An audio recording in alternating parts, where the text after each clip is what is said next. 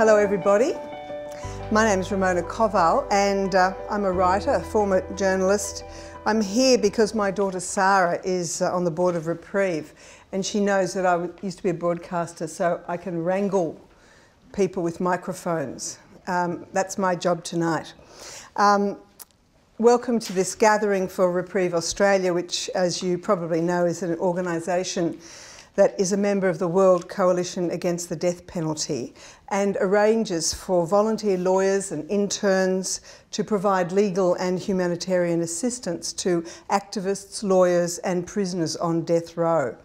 Here in Australia, Reprieve campaigns and conducts research to raise awareness of issues concerning the death penalty and ensures local and international partners are equipped with the best support and the latest information.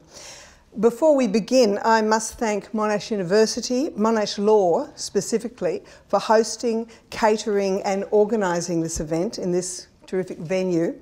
And thanks also to the Dean of the Law School, Professor Brian Horrigan, for his ongoing support of Reprieve Australia. I should also say that Julian McMahon is an alumnus of Monash Law, so you should feel very proud of him. This is what's going to happen this evening. Um, we're going to have the privilege of hearing a conversation between these three lawyers who have spent years in the noble, difficult, harrowing occupation of defending prisoners on death row in a variety of jurisdictions.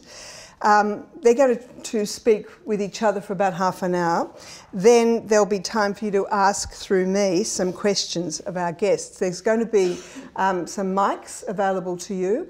You're not allowed to speak until you have a mic under your nose. Doesn't matter how terrific you think you are at um, addressing the court without a microphone or how deep your voice is, it's not going to cut it. You have to have a mic. Um, I will um, start to creep towards this stage when it's time for the Q&A and Julian, who's not concentrating, uh, will then um, hand it over to, to you. Um, so let's begin.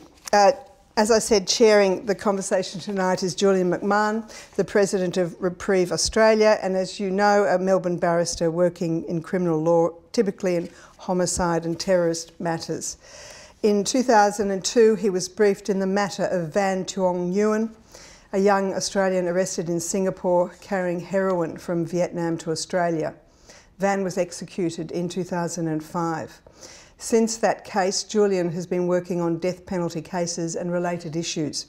He was part of the team who defended Australians Andrew Chan and Myuran Sukumaran executed in Indonesia on the 29th of April 2015.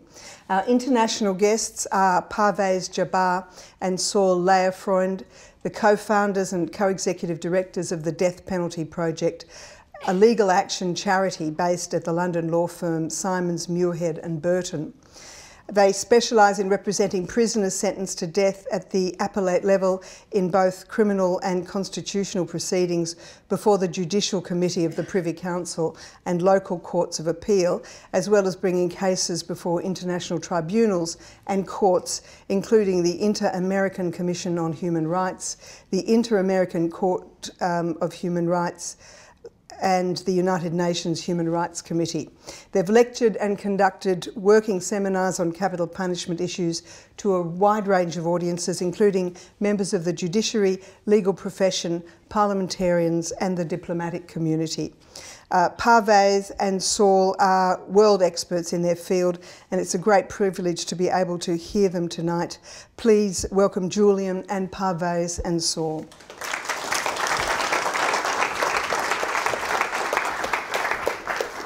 Thank you. Uh, Ramona, am I meant to use this microphone now? Yeah. At all times? Okay, I was paying attention. thank you very much, uh, Ramona. Um, I'd like to start by um, remembering, acknowledging the people, the Wurundjeri people on whose land we are, and to remember that grand heritage and to pay our respects to their elders, past and present. Uh, I'd also like to start again by uh, giving my sincerest thanks to Monash University. Uh, I wrote to the Dean some time ago and said, I have these two guests coming from London to do a few things for us, and I would think that they should come to your university and speak to the students because honestly, it would be such a waste if they were here and did not speak to your students. Your students will be inspired. And the reply email said, okay, well, that's a given. Um, now, we'd also like to host a function for you for the law profession uh, at the Monash City Chambers. So the reason we're all here tonight is because of that spontaneous uh, generosity from the Monash Law Faculty, and so I'm obviously very sincerely grateful for that. Um, I was trying to remember spontaneously uh, last night how it is that I first arranged for them to be here, and I actually honestly can't remember. Uh, Megan Tittensaw is somewhere in here, barrister, and um, it's at least eight or nine years ago that she was in the office of these two guests in London. And some time ago, over a number of conversations, they made the offer, well, look, if we can ever help you. And uh, somehow I turned that into, uncharacteristically, forcefully from me, I think. Uh, yes, well, we want you to come and visit in Australia and talk to people. Uh, and the next thing you know, that was arranged, and here we are. And we're um, talking to people in a number of cities over uh, three or four days around Australia. Uh, tonight is uh, very special to me um, because I'm looking out at so many uh, people in the law profession who I know and from other parts of society who at different times in the last 10 years or so have given very um, warm words of um, support to uh, the various people working on the cases that many of you know so much about. Um, so I'm very uh, grateful and pleased to see so many of you here. Uh, my primary objective tonight is that you are all glad that you came. And I'm pretty confident that you will be, apart from whatever I say. But putting that aside, I think you'll be glad that you came because uh, many of us know each other and we know that we're in a serious business. And I've learned over the last uh, five or so years um, that uh, around the world doing death penalty work, there's this organisation called the Death Penalty Project. And I gradually learned about that and I gradually got to meet these guys and I've been to their office and we've talked in numerous countries around the world at different times. And you wouldn't know it from your first or third meeting, but it turns out that um, when you know enough about their work, they are uh, either alone or with one or two others, um, the most effective legal team in the world fighting the death penalty. And if you hear some of their story tonight from the Caribbean uh, through um, many cases from those countries in the Caribbean, through Asia, through North Africa, you'll realise that there are um, I'm not sure how many, I'm not sure if they know how many, but we're talking thousands, not hundreds, of people who have not been executed directly because of their work rather than indirectly. And then there's all the other people who have been indirectly, not subsequently sentenced to death. So it's an amazing story. And uh, since we are talking to a room mostly full of lawyers, some of the things that they've achieved would include uh, the abolition of the mandatory death penalty in at least a dozen countries uh, by running cases. Uh, so, judges, instead of being obliged to sentence a prisoner to death, which was, for those of you who remember the Van Nguyen story in Singapore, uh, that um, they run cases to the Privy Council usually, which has led to that law changing. Many of you know that uh, there's this idea floating around the jurisprudence around the world that if you spend too much time on death row, it becomes such a cruel thing that the sentence of death which has been imposed on you should be withdrawn because ultimately you're kind of being tortured. You're on death row for so long. In many countries, that's called the five year rule. And if you spend more than five years on death row, it's almost a given that you should no longer stay on death row because it's too cruel to be on death row for that long. Insofar as you'll hear that rule and see countries around the rule that around the world that have it, it's much more likely than not it's because of cases that these guys have run.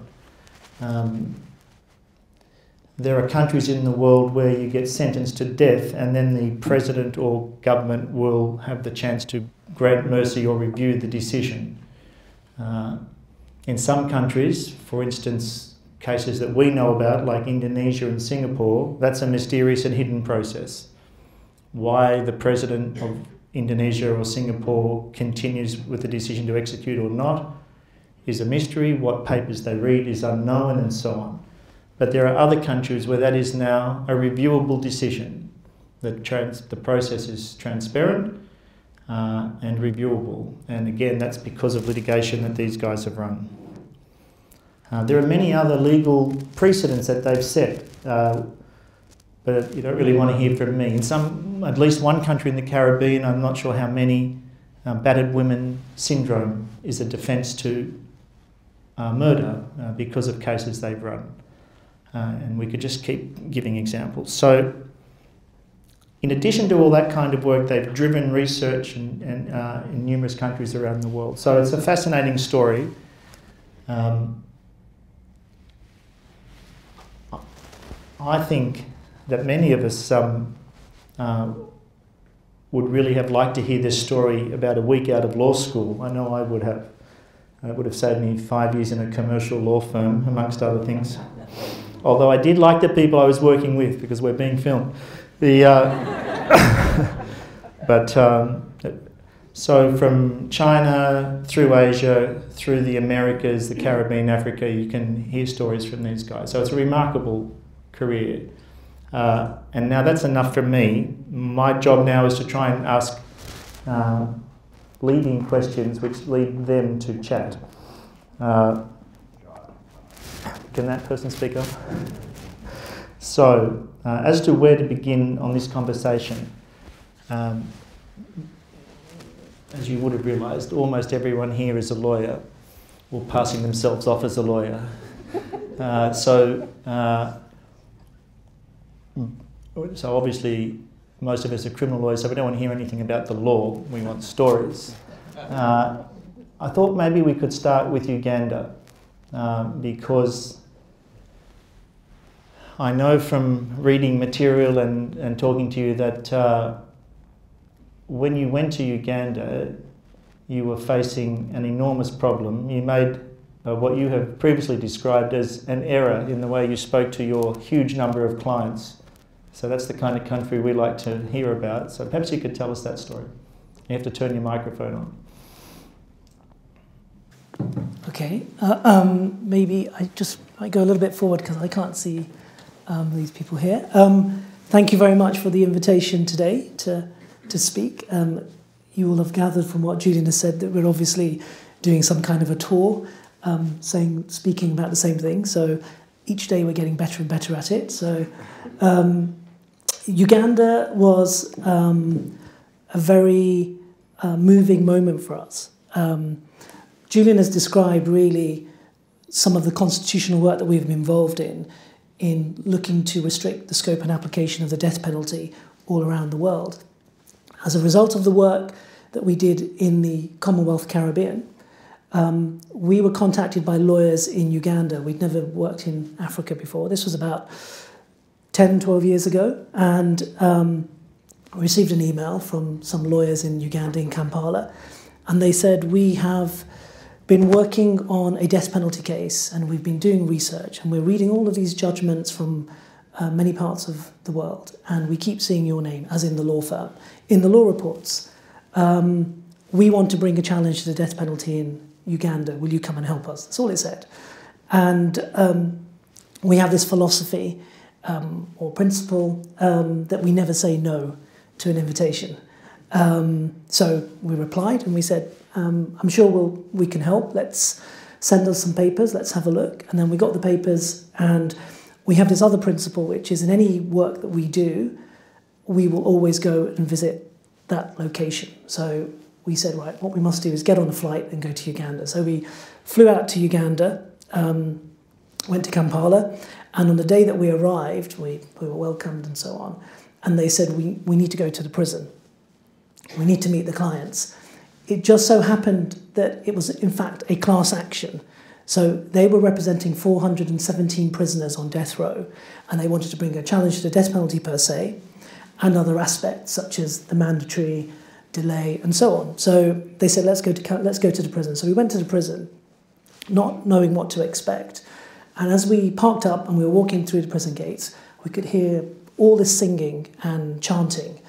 We weren't quite sure what it was. It was sort of distant, but we could hear it quite easily. We walk into the prison, into the main compound, and in front of us, in the main concourse, so to speak, were 417, I assume 417, prisoners who were part of this legal action.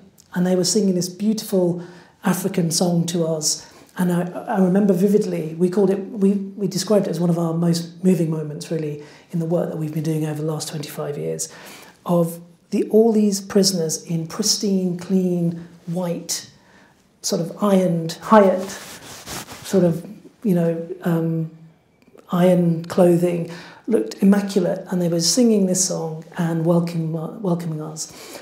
And then the lawyer said to us, he said, You need to say something to these people, but you need to say something positive. and we're looking as lawyers and we're thinking, well, we, we can bring a good case here, but as lawyers, we would never ever say to our clients, we will definitely win, as you know. But something in us, um, maybe it was panic, I don't know. But we all got up. There were three of us at, um, at this from, from England. We all got up and we said, um, Very nice to meet you. Thank you for this welcome. We will win this case and you will have justice in your matter. And then we remember Julian coming out of that and thinking, It's been recorded, so I better not swear. But we effectively said, What the hell did we just say there? So, to cut a long story short, we went to court, we went before the Constitutional Court and the Supreme Court, and we didn't win on death penalty per se, but we abolished the mandatory death penalty and we got a ruling on the issue of delay, which, following the, the case that Julian mentioned, said that anybody on death row for more than three years after your appeal um, ought to be commuted. By the time we finished the case, there were in fact 950 prisoners on death row. So, as a result of that one case, 950 individuals were resentenced. Um, there has been no executions in Uganda since 2005, and the judges, as Julian has said, have really, in applying discretion, never felt that the death penalty was an appropriate punishment. So for us, it was a fantastic case, um, a good win, but it was also one of the most moving moments we've ever had. Actually, I look forward to winning a case with 950 clients.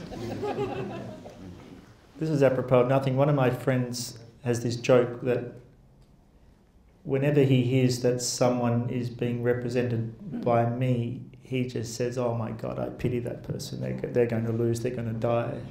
But we have black humour. I guess maybe some of you are not used to that. But anyway, uh, just while we're in Africa, um, if you haven't realised yet, you'll realise in the next minute. This is totally it's unscripted. We're just talking about what we know. So I don't know what the answers are going to be, but I know, for instance, that in Kenya there were something like 4,000 people on death row. Now, did you have a role to play in Kenya?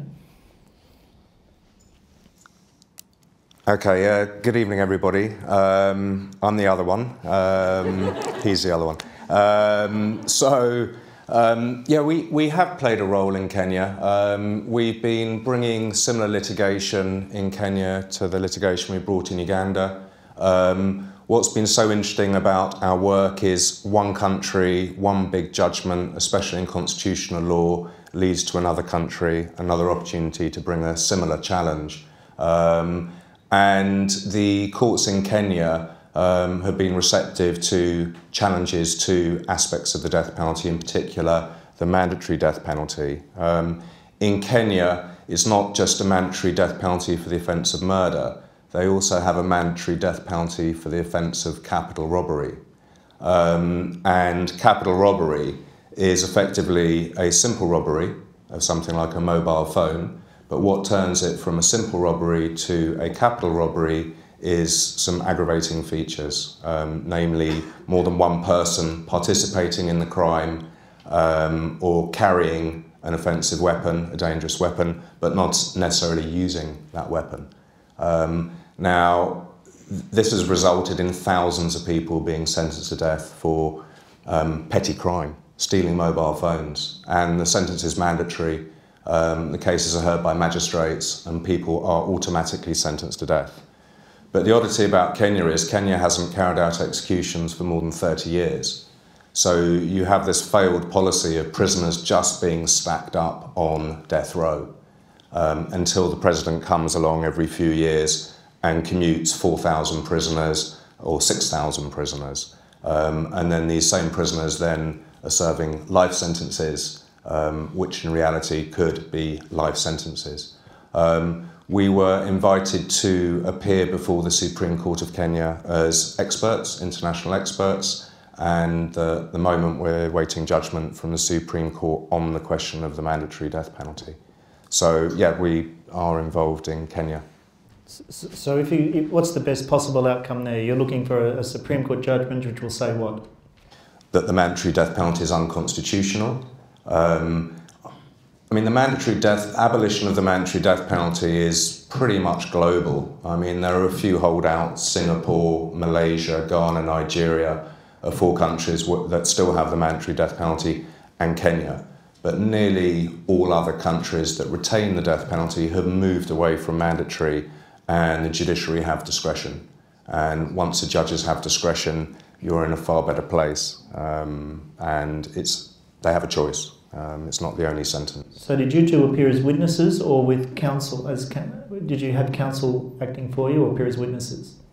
Um, uh, no, we appeared. Um, we appeared as amicus in the case. We were invited by the Supreme Court to really um, two things. Uh, during that hearing, both the Attorney General and the DPP in Kenya accepted that the mandatory death penalty was unconstitutional. So the question was, and we, we think we cannot lose, but this is Kenya, and I'm, we actually abolished a mandatory death penalty in Kenya in 2010. The Court of Appeal had abolished it, but they have this very odd system where a different panel of the Court of Appeal can hear the same matter, and a different panel um, decided in a different way two years later um, which, you know, as lawyers, the idea that um, the same tier can overrule itself, so to speak, um, was very strange. And so they've reheard, they've reheard the case, um, and they what they really want to do, I think, is they want to know what is the impact. If we were to abolish the mandatory death penalty in Kenya, what will happen? What do we do? So what we um, apart from the submissions on mandatory, is we tried to help them frame um, a system of dealing with potentially 9,000 prisoners who would fall to be resentenced. And in a country like Kenya, where the criminal justice system is very slow, um, it's going to be an impossible task. So what we tried to do was talk about what had happened in other jurisdictions. And there are, you know, there are different models on how um, countries sen- sentence. We're not big fans of the American balance of aggravating and mitigating circumstances. What we have tried to um, promote is a, a, a discretion where the death penalty is implied in the very, very rare of rare cases. Uh, so to limit it as much as we can. And um, so what we're really trying to do is help them find a solution if they go that route to make sure um, everybody gets justice. So uh, you two have been doing this work for 25 years and uh, it probably goes without saying that in the first year or two you didn't have a 25 year plan. Uh, we, we, might talk about that a bit later, but if you can just sort of rise above and look down from a bird's eye view at the Caribbean over 25 years, uh, you really started because Caribbean cases were coming into the uh, commercial law firm that you worked in in London, and there were good partners there who said, Well, we're going to handle this anyway we'll find a couple of young lawyers, and that was you guys. Tell us about the Caribbean 25 years ago and today, and what it looked like then and what it looks like now in terms of uh, killing prisoners, executing prisoners. Okay, so the, the baseline in the Caribbean 25 years ago, um, we'll just choose one country, so Jamaica. So in Jamaica 25 years ago, there were almost 300 prisoners on death row. Um, they were housed in appalling prison conditions, um, held in solitary confinement on death row in single cells, um, a slot bucket, um, allowed out of their cell maybe for a few minutes every day to empty that bucket. No real visitors, definitely no lawyers going to see them, um, and they were just stacked up on death row. The death penalty was mandatory, so the judges had no discretion, and prisoners could be held for up to um, any period of time. There was no concept of the death row phenomenon um, or cruelty of keeping people on death row. Um, I can cut 25 years very short, and if you move forwards to today, um, today there's nobody on death row in Jamaica. The death penalty is discretionary. Judges have an option um, when it comes to sentencing. Um, the sentencing guidelines that we've helped to establish are such that the presumption is always life and not death, and the burden's on the prosecution to prove beyond reasonable doubt um, that the case not only falls into the category of the rarest of the rare, um, but also that the individual is beyond hope of reformation. So, a very, very restrictive test for the imposition of the death penalty. And on top of that, um, we have a ruling that says that you can't keep a prisoner on death row for more than five years. After five years, carrying out of that sentence would become unconstitutional. So a combination of these strategic cases, these big constitutional cases, has dramatically restricted the death penalty down to the point that there's nobody on death row today. Julian, can I add something to that? Which is that um, what we've effectively done is we've gone as far as we can legally through the courts. So the courts have restricted and limited the application of death penalty, and what is now left are um, uh, um, countries in that region that have the death penalty, haven't executed for many, many years, have nobody on death row, but retain the death penalty on its statute books. And what is now missing, the big step, is getting political leadership to move forward from uh, where they were to where they are now and saying maybe we should now rethink whether there's any point having the death penalty. We don't execute, we don't sentence anybody to death. But what is missing is that that dialogue and that sp- the space is there, but there just isn't that engagement to say the natural next step is to abolish the death penalty. And that's something that we as lawyers can't do. It's something we try to do in other fora, in, in, in other ways, in terms of dialogue, but the courts have done as much as they can do. It's probably worth just giving a quick example of why that matters. You might think, well, if the death penalty is abolished, pardon me, if the death penalty is not being used in a country, does it really matter whether it's abolished or not? So a good example would be Taiwan two years ago. You probably know that story. So there's quite a few people on death row in Taiwan. Exact uh, two years ago, in the middle of the year, a young child was terribly murdered. The community was fundamentally outraged at the nature of the killing. Uh, there was such outrage that the government was worried at the community um, reaction to the terrible crime. So, six prisoners, or five or six, I can't remember now, were executed within a week, and none of them had anything in any way related to do to the, the death of the young girl, but it was seen as a way of responding to community pressure. So, when the law is there and then it can be employed from time to time politically, uh, things can go wrong. It's one of the things that's going on in the Philippines now. Um, the, Philippines has signed what's called the Second Optional Protocol to abolish the death penalty. Uh, they've already abolished the death penalty many years ago, twice in fact, and they've signed international instruments to enforce that. But the Constitution uh, still allegedly, on one reading, allows the law to be reintroduced, and that's what's happening in the Philippines today. We can just go back to Jamaica. Many of the people you're looking at here in this room have been to prisons somewhere in uh, Victoria and all the cells in the courts and so on.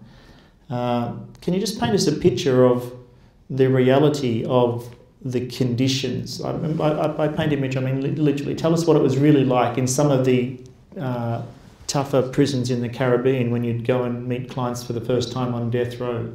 I know one story you've told me is that um, uh, sometimes prisoners would struggle not to meet you because they thought they were being dragged out to be killed uh, because you had arrived. But just, just tell us what it's like to what those conditions can be like?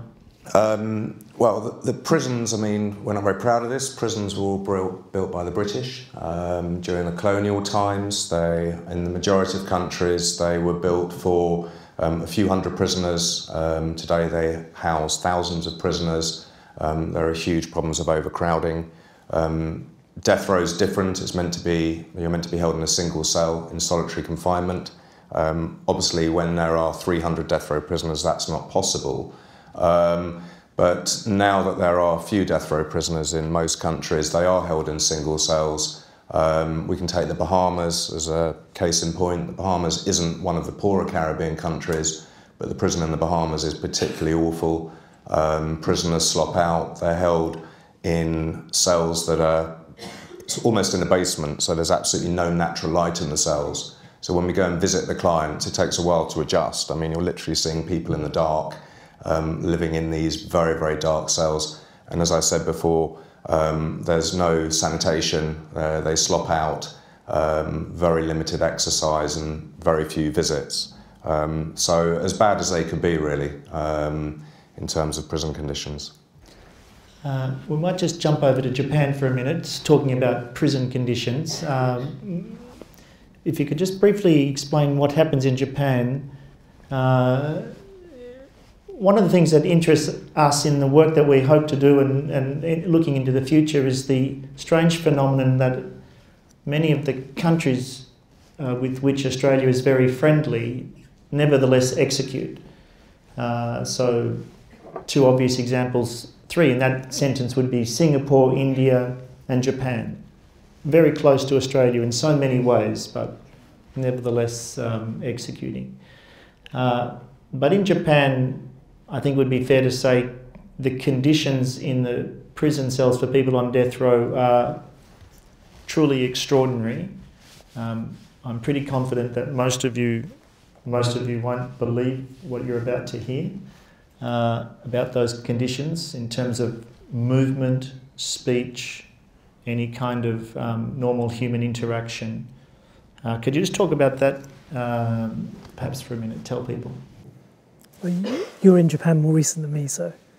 Um, well, the, the, conditions in Japan, I mean, it's, the prisons are modern, so it's not about the physical conditions. That's one of the problems in the Caribbean. Um, in Japan, one of the um, problems about the death penalty is there is no notification of when a prisoner is to be executed. So every day a prisoner wakes up could be the last day.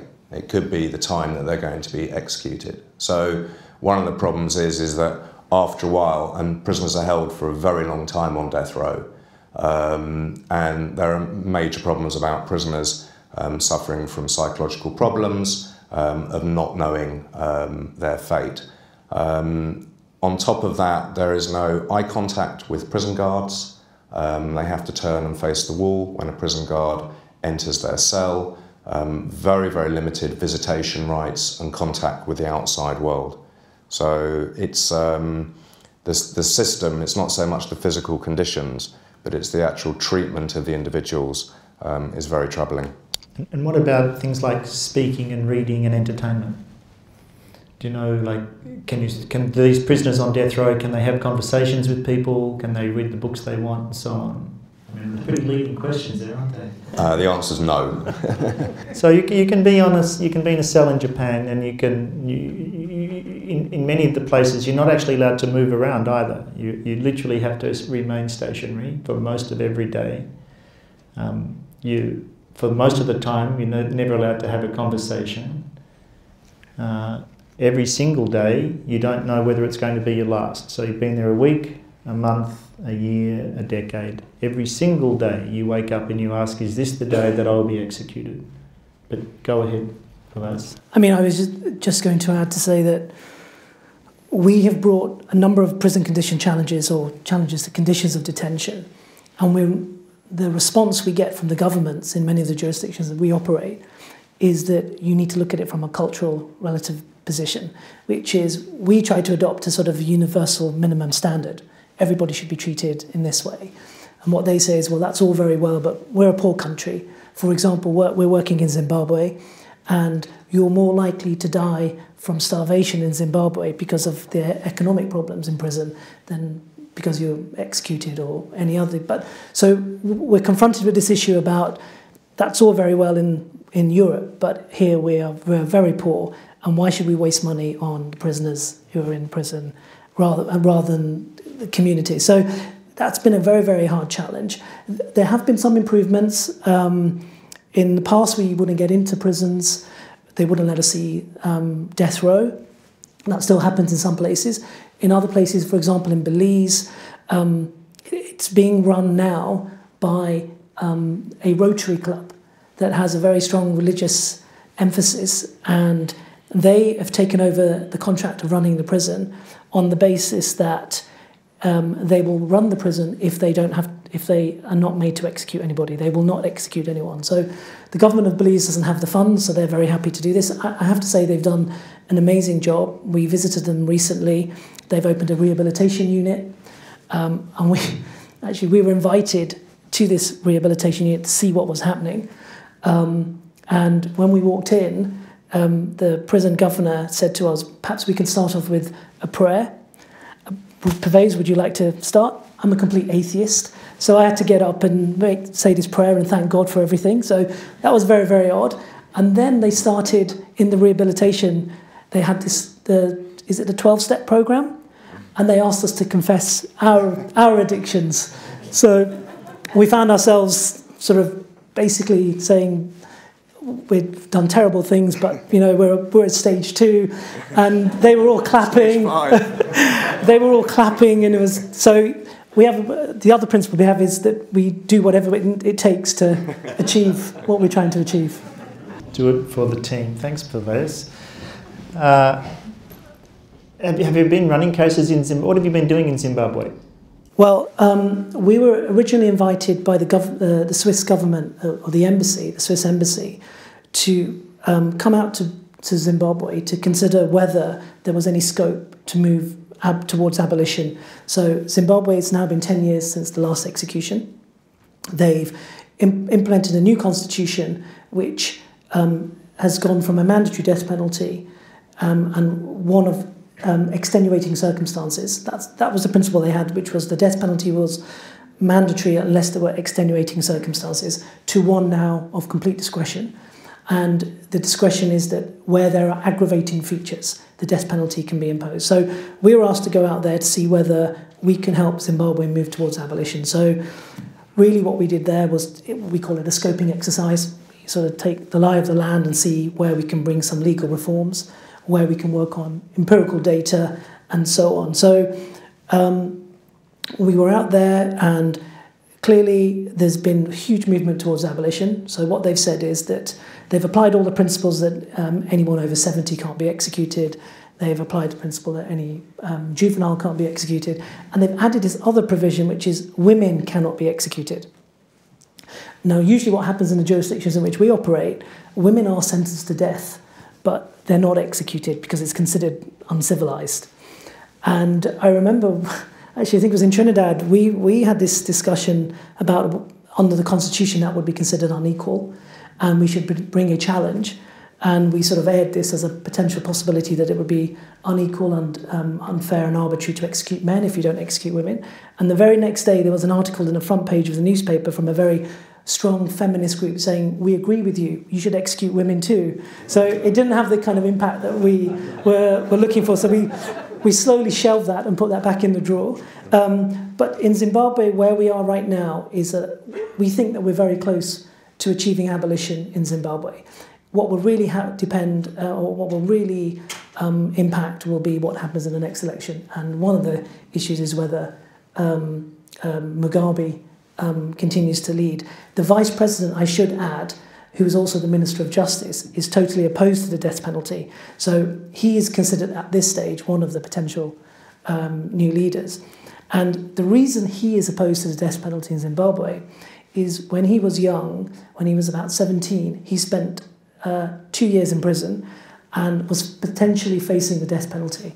So I think the answer is if you want to abolish the death penalty in a country, you need to get the ministers in prison on death row and they'll soon. Mm, which actually has happened in, in quite a few countries.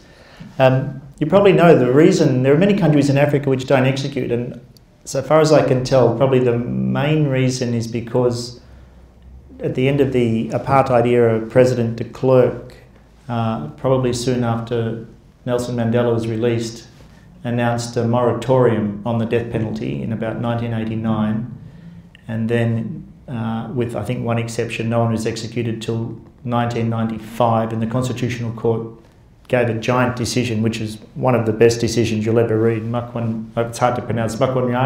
Yep, Makwanyane. Uh, and it's a fantastic decision and sort of principles we'd love to read. And I think that set the tone across Africa. It's a great decision. Uh, we haven't really talked much about Asia, and I think we'd nearly have to go to Ramona for questions. Um,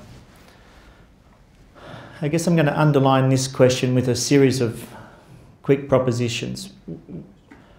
There are lots of injustices in the world, and there's no reason to single out the death penalty as deserving more attention from us than many of those other injustices. You talk about sexual exploitation of children or slavery, you know, there are terrible things that happen in different places. But one of the things about the death penalty which makes it particularly interesting for lawyers to work on, I think, uh, is that almost invariably where you find people being executed, you find a whole series of injustices and abuses of process. So when we pick up a case, we, as in anyone here, picks up a case uh, and you examine it to say, well, how come this client's about to be executed? Usually, if you go back to the beginning, there'll be a series of events which could include um, brutality at the time of arrest, uh, corruption at the time of arrest, um, a case that Matt Goldberg, who's is Matt here? Matt Goldberg worked on last year in Indonesia. Uh, it seems almost certain that the the client, well, some people say uh, it seems almost certain that the client was innocent at all times, but no real legal representation, a small amount of drugs, and ultimately executed 12 months ago. So you've got, I'm not talking about Indonesia now, but where there's execution, you'll usually find brutality, uh, corruption, a failure of process, and injustice at many levels. And when you fight the ultimate penalty in that case, you shine a light on all those other uh, process problems. And by winning the struggle or the debate about executing prisoners, you tend to improve or win the struggle about all these other important process arguments. Um, you could probably, we won't go into it now, I think you could probably say that's what's happening in China uh, China still is the world's largest executor, but far less now than it used to be. And its own internal reforms are about trying to better the processes, many of which are so poor, but some of which are improving. And the number of people being executed drops by the thousands as that happens. Um, so, with that kind of introduction, I just want to ask about India and then we'll go to Ramona. Um, I think your work in India tends to be more involved with um, working with people who are doing research. But perhaps if you could just talk about some of the results of the research from the New Delhi Law University that's come out in the last year or so, just in terms of the number of people being tortured prior to confession, their economic status, and their relationships with lawyers. Um, I know from conversations you've had cases where the lawyers um, know nothing about the case at which they are running. I think that would be pretty fair to say in some cases. Can you imagine doing that? Uh, but just to, to, give us an idea about India, and then we'll go to um, Ramona and some questions from the floor. Um, Julian's referring to a, a, fantastic piece of research done by um, a very young team out of the National Law University in Delhi. And this research is available online, and I'd commend it to anyone to read. Um, it's very long, but they have a nice short summary report. Um, but the, they, they carried out a socio-economic study of every single prisoner on death row in India. Um, and it's something we know anecdotally. We know that the people that we represent um, are invariably poor, marginalised, suffer from mental health problems, um, have not had um, equality in court, um, very poorly represented. We know this anecdotally through our cases, but we've never catalogued it um, in terms of analysing every single case and reporting on it. And the National Law University did exactly this, and it's a huge piece of work. Um, but the results are um, as expected, but when you read it, um, it's particularly shocking. So their findings are that 80% of the death row prisoners were tortured by the police. um, after their arrest. Um, nearly all of the prisoners complain about having appalling legal representation. So that's maybe not meeting their lawyers until the day of the trial, having no opportunity to give instructions. Um, the list goes on and on. Not speaking the language? Um, not even able, exactly, not even able to speak the dialect or the language that their lawyers can understand. Um, so effectively having no legal representation. So when you read this report, you quite quickly realise that the people who are on death row um, are victims in so many different ways. They're societal victims. And ultimately, that is what the death penalty represents in so many parts of the world where we operate. Um, it's not necessarily just the wicked um, and people who um, society um, don't like who are on death row. These are victims in so many different ways, um, as I said, through poverty, um, discrimination, um, and many other factors. Um, but this is a great piece of work um, done by the National Law University. And the last comment I'm just going to make about that is if you do get a chance to look at that report, even though we all know from our work the sort of tough things we see sometimes, the tortures that are being carried out are quite extraordinary. We're not talking about, you know, a beating down the back of the cell. We're talking about the sort of tortures that, you know, give you nightmares to read about them, let alone to undergo them. And so it's, it's, uh, it's a fantastic and important piece of research. And we, we, we may talk about it in questions if anyone's interested, but one of the things that we're looking at into the future uh, is targeted research in combination with universities like Monash uh, and other universities, where by producing good quality research, we can deliver that to public uh, decision makers, MPs, and so on in different countries, which then changes the direction of the debate and necessitates uh, a, a, fresh look at these kind of issues. Uh, so, uh, well, I'll leave that there. We'll go to questions, Ramona. Well, um, what we're going to do is two of these mics have to go to the audience, and you guys are going to share these mics for the answers. Um, there's a. Uh, you'd be aware that it's 50 years this year since we've had our last execution, but um, within our region, of course, many of the countries that are actively executing are within the Asian region. And Julian just mentioned that China is presumed to be at the head of that list, although the figures are hard to obtain. But also in Australia, we have many, many hundreds of thousands of students from those countries studying. Uh, in China, 108,000 last year at 30 universities. One of the major universities is Monash. Um, I'm pleased that you were able to speak to students at Monash yesterday. They could have been volunteers or they could have been law students.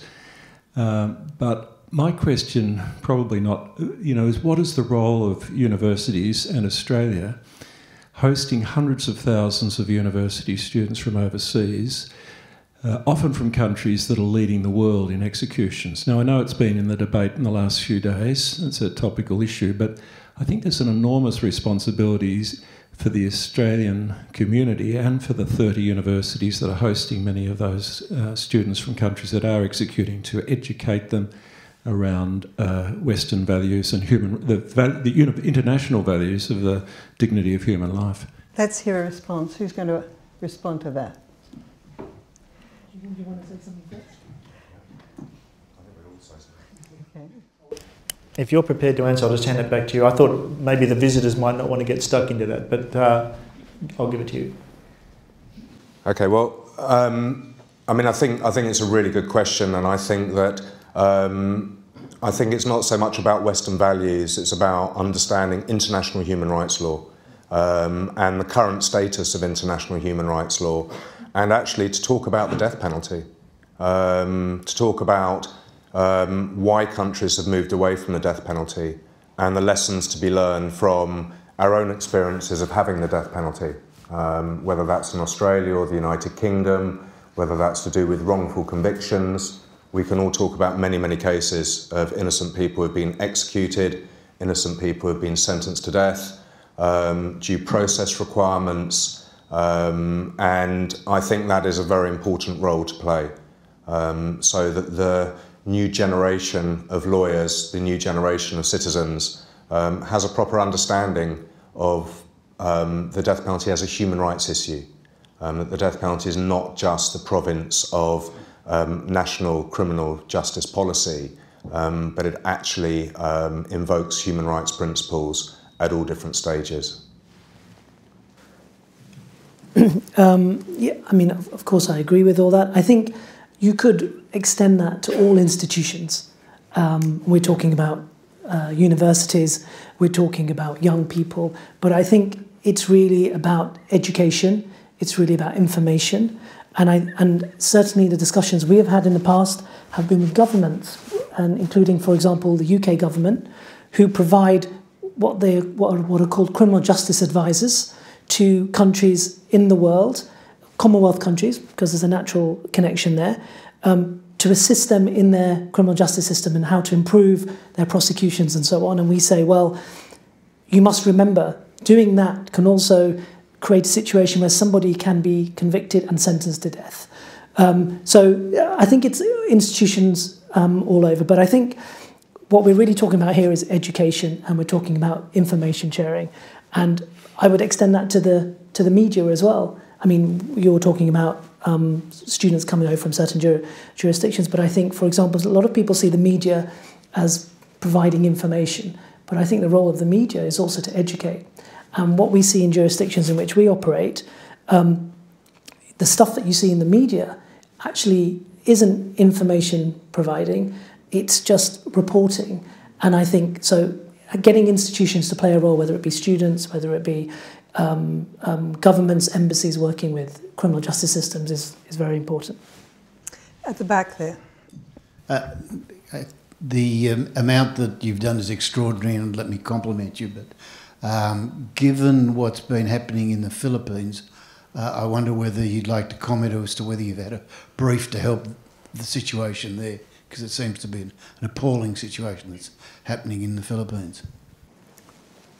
Shall I go first? Yeah.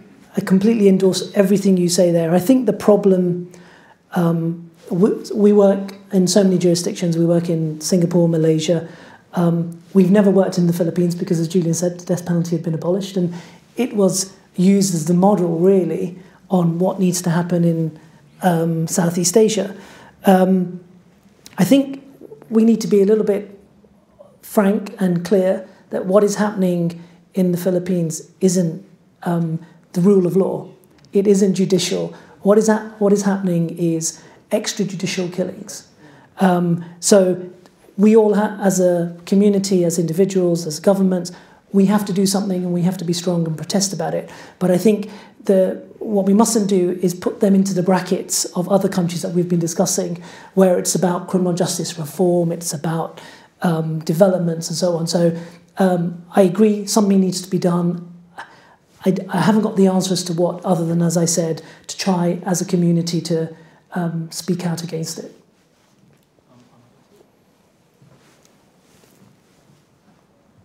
Um, I can add a couple of things to that. Uh, one of the lawyers who worked on the um, Bali 9 case was uh, Chris Ward, Dr. Chris Ward, who's a Sydney Silk.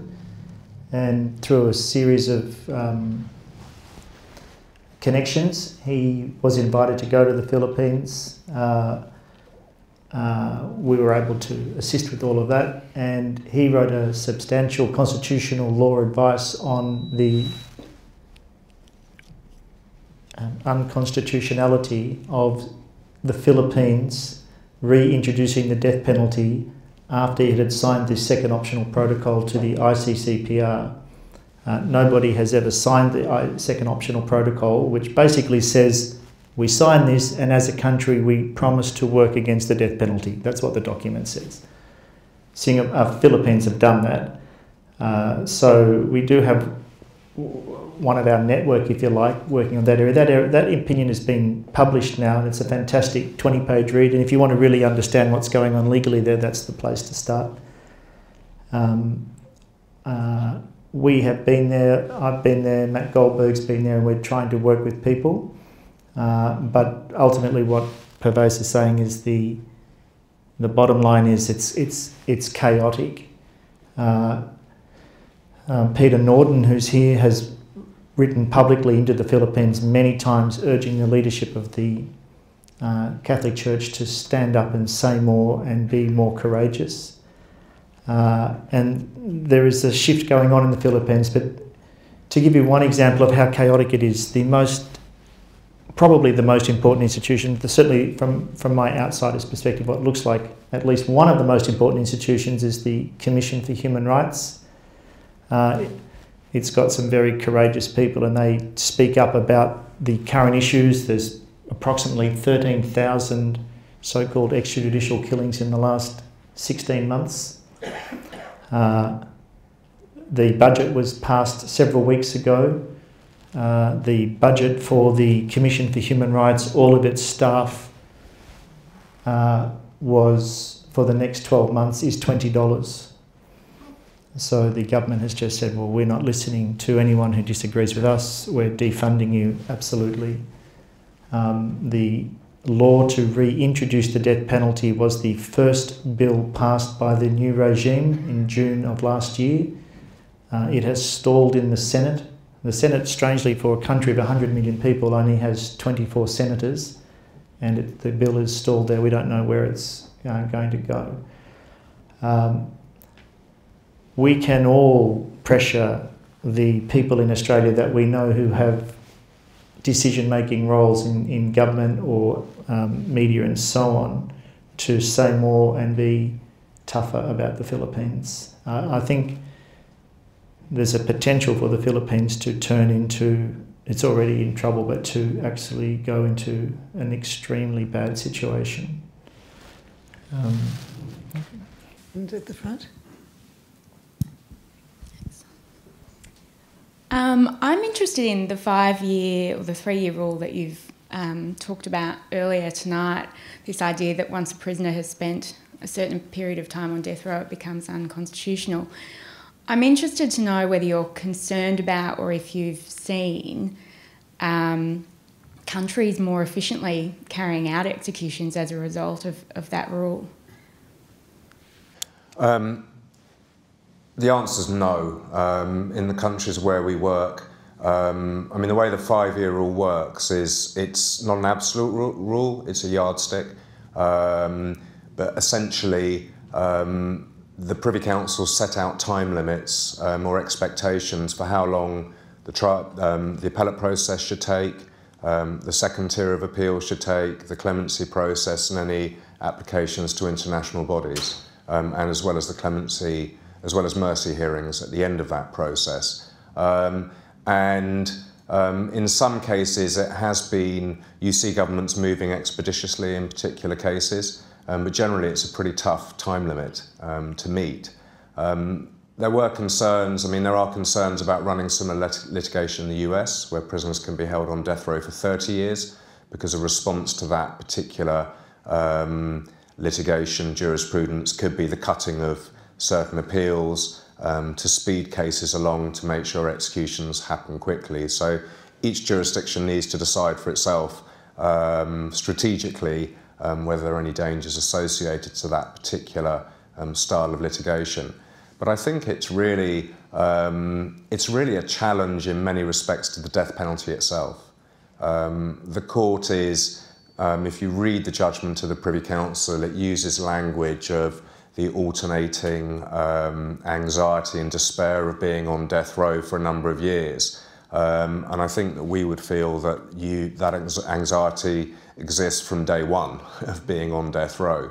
So it is quite an abolitionist judgment um, in the reasoning um, of the court. Um, but the court can't, as we mentioned earlier, the, the, the court cannot simply abolish the death penalty. Um, so they've just made it very difficult for the states to carry out the sentence. So it is, um, you have to make a judgment um, as lawyers on, um, with local lawyers. I mean, we don't make those decisions alone.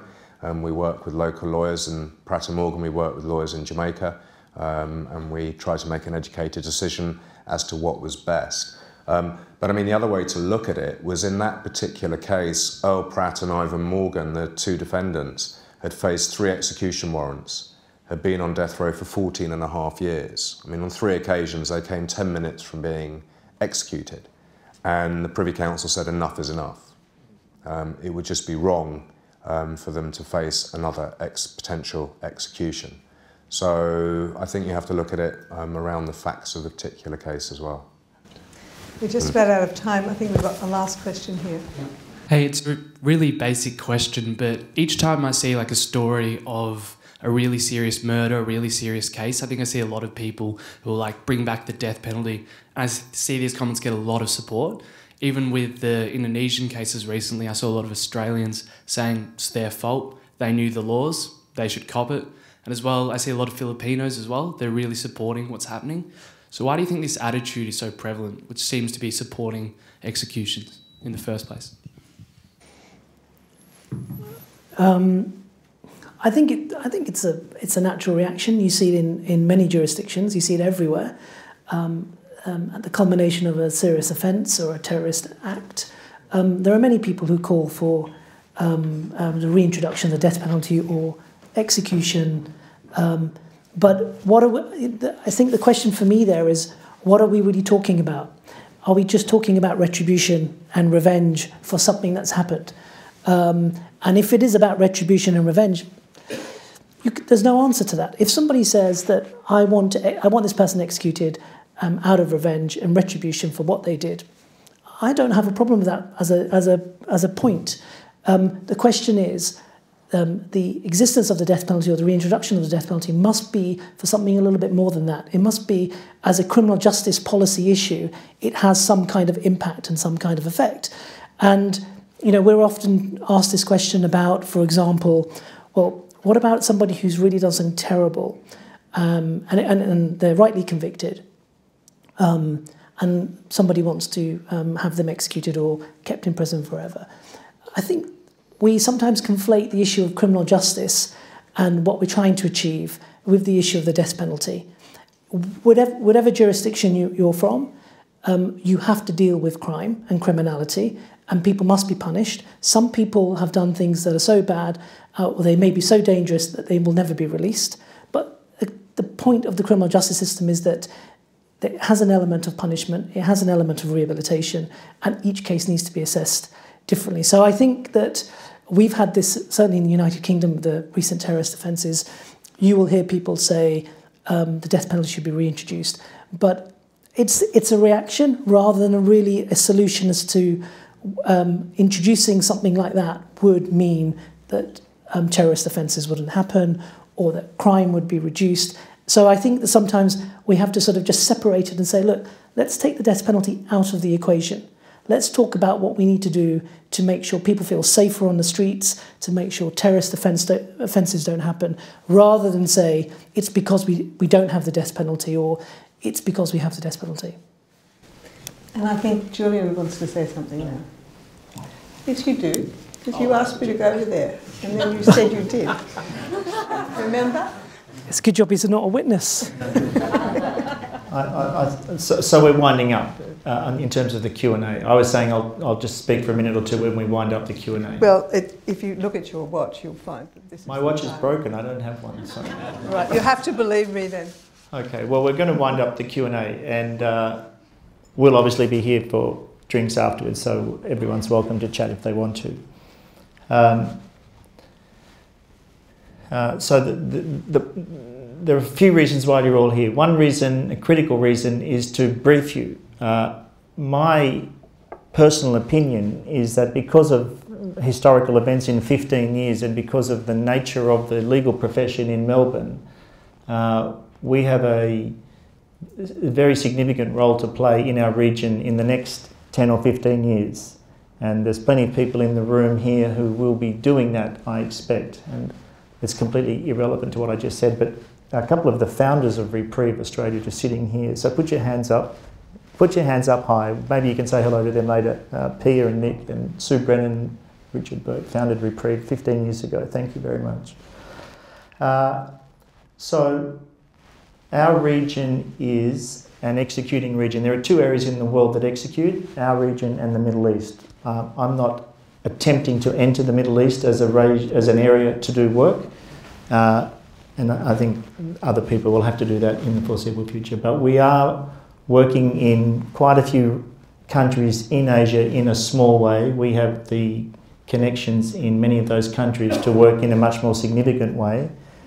The work that we are going to do is hopefully not too much of the kind of casework that you've seen us do in the past. We want to do that when necessary, and as our guests do, and as we do, we always work underneath the local lawyers.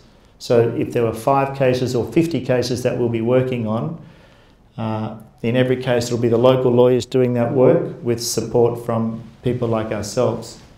And in fact, these guys, we haven't even touched this whole issue. They have hundreds of UK lawyers, QCs, barristers, and solicitors, uh, and psychiatrists and psychologists and other experts on their payroll, all of whom get paid nothing.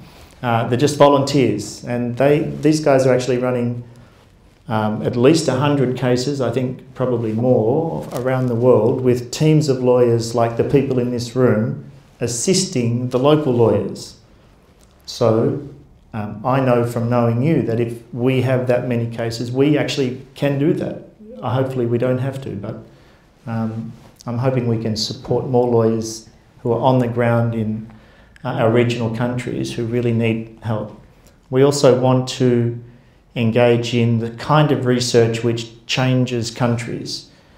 Again, we haven't even touched on it. Some of the research that these guys have generated in the past has been in depth research with local institutes, think tanks, combining with scholars from England, say Oxford University, um, funded in various ways, leading to world class research being produced, put into the hands of government ministers who then say, This is different to what we thought the people in our community thought. We're going to reassess our policy. So, for instance, when you see the mandatory death penalty abolished in Malaysia in the foreseeable future for death for drug offences, it will be because of research which was commissioned four years ago uh, done by Malaysians with the help of people from Oxford and these guys, which local research showed that Malaysians do not support the mandatory death penalty for drug offences, even though politicians have spent 30 years saying they do. So it's going to change. There's lots of research that can be done like that, and we just have to get organised to do it. And that's going to be much more effective than any kind of megaphone diplomacy and so on. Well, I guess that's an oxymoron to say megaphone diplomacy. Uh, so, um, as you know, I always go around asking for money. It's just part of the way I operate. if anyone thinks that's true, I'd be very disappointed.